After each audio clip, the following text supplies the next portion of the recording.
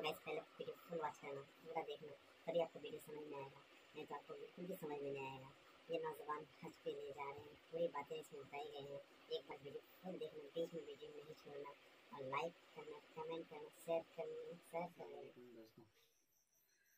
दोस्तों दोस्तों केरला से केरला से निकला एक नौजवान हज के लिए। आठ हज़ार छः सौ चालीस किलोमीटर का फासला तय करेंगे। पैदल एक नज़र डालिए। इस वीडियो पे। आप पैदल चलते चलते यहाँ से कहाँ जा रहे हैं.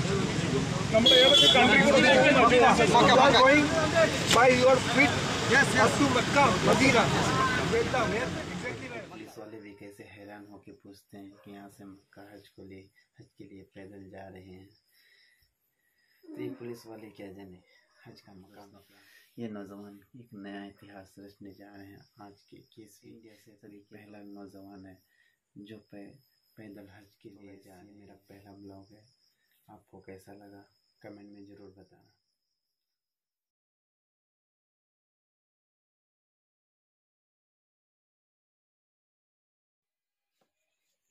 तब तक आप हमारे चैनल में नए हैं तो सब्सक्राइब कर लीजिए बेल आइकन को प्रेस कर लीजिए ताकि हमारे वीडियो सबसे पहले आपको मिले। तो गैस आप देख सकते हैं कि ये नौजवान कैसे अल्लाह के राह में निकले हैं। जिसको अल्लाह बुलाए हज के लिए वो।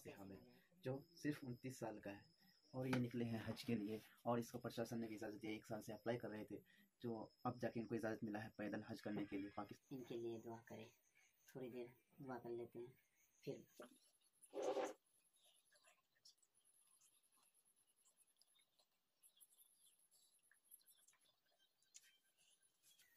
तो दोस्तों, आप भी दुआ करें, इस नौजवान के लिए जो हज को जा रहे हैं, सही सलामत हज के हज करके वापस लौट आए।